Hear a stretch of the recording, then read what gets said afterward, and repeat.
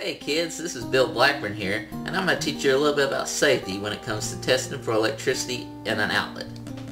Today I was going to curl my hair, but I found that uh, it wouldn't work. So that could mean two things. Either this is broken, or this outlet is out. So I'm going to do the obvious thing. I'm going to test this outlet.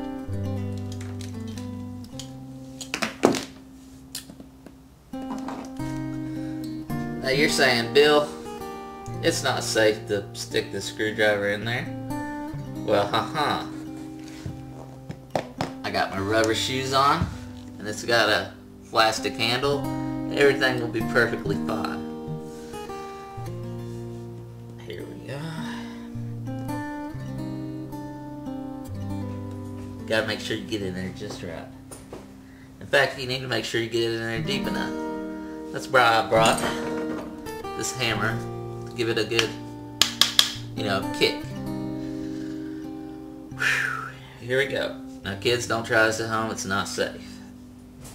One and two and a... I'll be honest with you.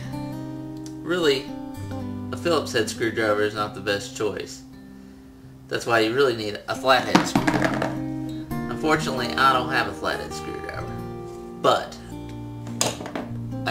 butter knife. And it's flat on top, as you notice. Okay. Wooden handle on my hammer.